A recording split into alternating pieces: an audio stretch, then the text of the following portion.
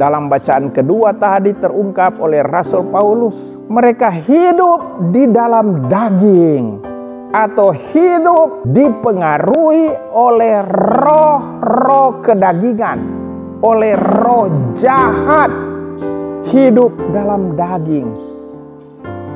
Dan dalam kitab suci diungkapkan apa tanda-tanda hidup dalam daging? Kekerasan, percabulan, iri hati, dengki, marah, dan seterusnya. Itu tanda-tanda hidup dalam daging. Sedangkan hidup di dalam roh, yakni kelembutan, kesabaran, pengampunan,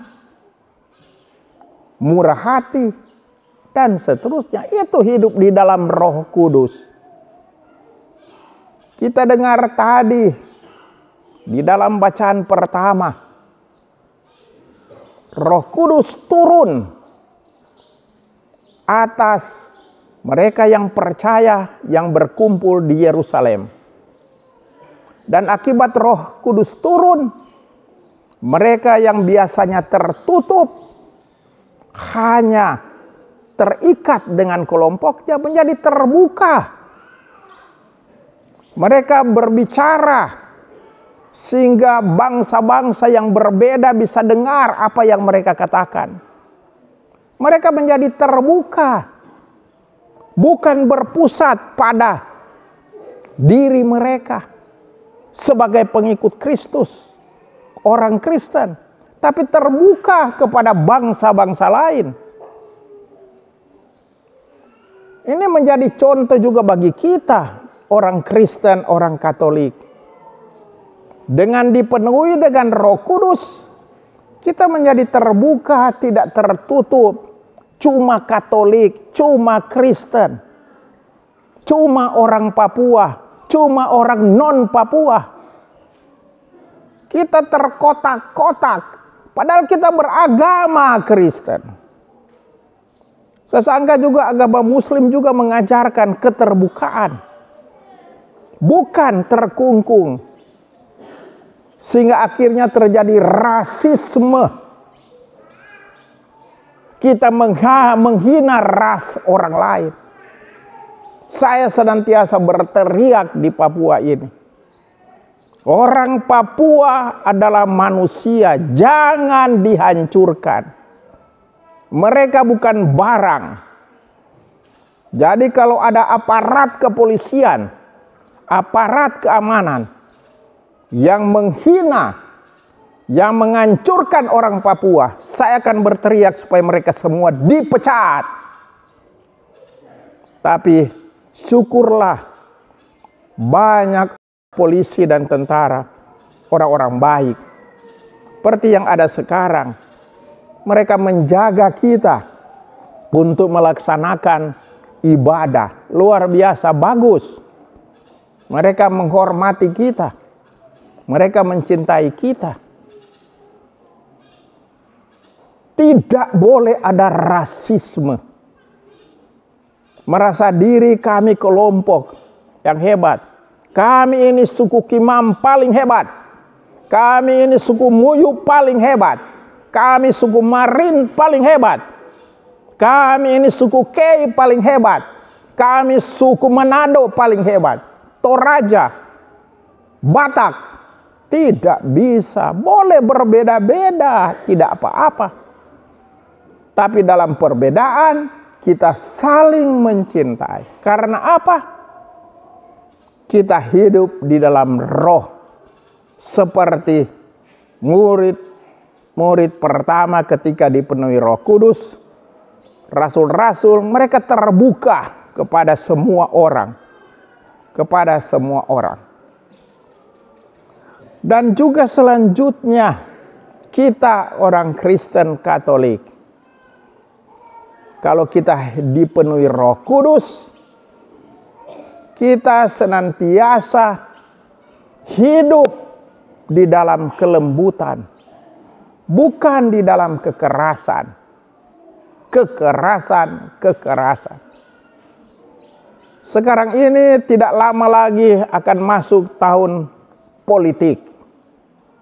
Ini calon-calon mulai berkeliaran di mana-mana.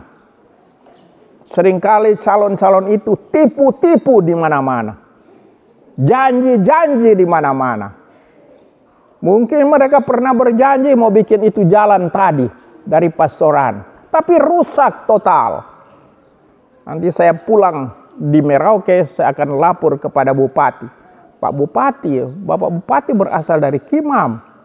Mengapa jalan-jalan di sini rusak-rusak? Jangan-jangan kepala distrik itu kepala batu, tidak mengurus distrik. Karena banyak kepala-kepala distrik cuma ambil uang dan tinggal di Merauke. Banyak kepala desa cuma ambil uang dan tinggal di Merauke dan dengan uang desa itu mereka mabuk di sana. Banyak kepala desa begitu.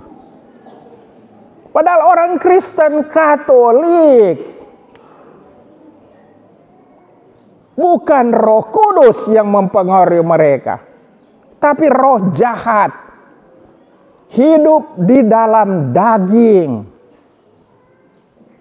Padahal kalau dipenuhi dengan Roh Kudus, hidup dalam kelembutan, hidup di dalam kemurahan hati, bu hidup di dalam kejujuran, bukan tipu sana tipu sini. Nanti kita lihat, pasti dari Merauke banyak tokoh-tokoh politik datang berkeliaran di sini. Seperti orang Maluku bilang, janji tinggal janji, tapi parlente jalan terus dusta jalan terus. Ya, ketika mereka sudah duduk, mereka lupa kimam. Mereka lupa kimam. Mereka jadikan tempat ini lumbung suara saja. Karena merugikan masyarakat. Lihat kimam saja. Tahun, tahun lalu saya datang sama saja. Becek juga. Saya tidak tahu di sini. Mungkin kepala distrik sekarang baru. Semoga tidak kepala batu kepala distrik ini. Hmm. Supaya melaksanakan tugas dengan bagus. Wartawan tulis apa yang uskup bilang. Supaya Presiden Jokowi tahu ini. Nanti saya ketemu Bapak Apollo saya bilang. Jalan-jalan di Kimam rusak total. Hah? pejabat-pejabat di sini cuma kasih biar saja. Ya. Puskesmas juga rusak total. Pastor yang masuk puskesmas hampir mati. Syukur belum mati. Tapi kalau dia masuk lagi pasti setengah mati.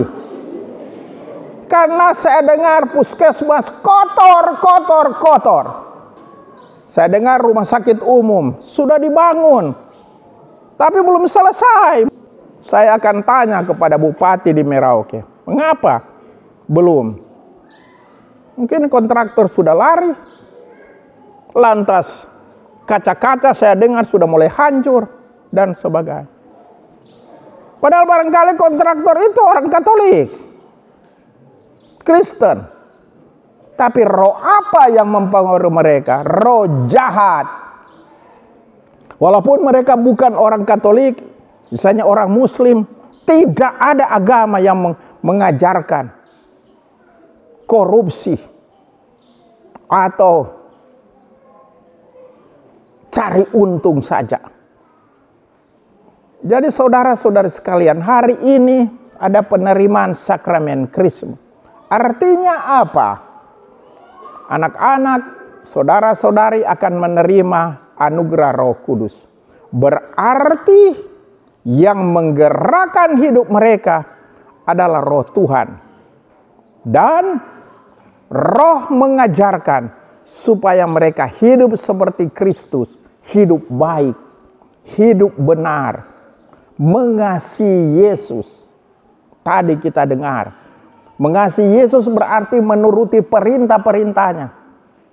Menuruti perintahnya berarti melaksanakan perintahnya. Khususnya perintah cinta kasih. Roh itu ada supaya kita yang menerima Roh Kudus kita semua hidup baik, hidup benar. Baik kepada semua, bukan cuma baik kepada orang Katolik, orang Kristen, tapi baik kepada semua orang. Supaya tidak terjadi pengelompokan, pengotak-kotakan. Di sana orang Kimam, di sana orang Muyu, di sana orang Manado, di sana orang Toraja dan sebagainya. Dan kita saling menghina satu dengan yang lain. Merendahkan. Saudara-saudara sekalian, mari kita berdoa supaya dengan adanya anugerah Roh Kudus, mereka yang akan menerima anugerah Roh Kudus menjadi semakin baik dan kita yang sudah menerima anugerah Roh Kudus, kita membaharui diri lagi menjadi orang Kristen Katolik yang makin baik, makin baik, makin baik. Semoga demikian. Amin. Dalam nama Bapa dan Putra dan Roh Kudus. Amin.